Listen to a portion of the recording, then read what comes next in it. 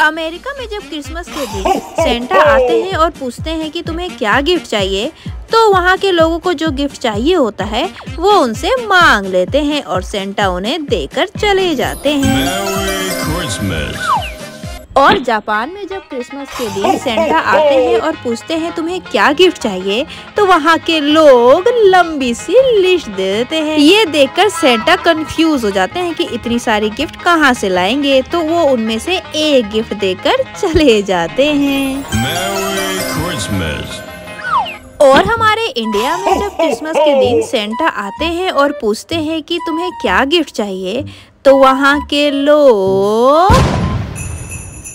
अपने माँ बाप की लंबी उम्र मांग लेते हैं। ऐसे होते हैं हम स्मार्ट इंडियंस क्योंकि हम इंडियंस जानते हैं कि यदि माँ बाप रहेंगे तो हमें किसी सेंटा की ज़रूरत ही नहीं है। आपको यदि मौका मिला तो आप सेंटा से क्या गिफ्ट मांगोगे? कमेंट में ज़रूर बताना।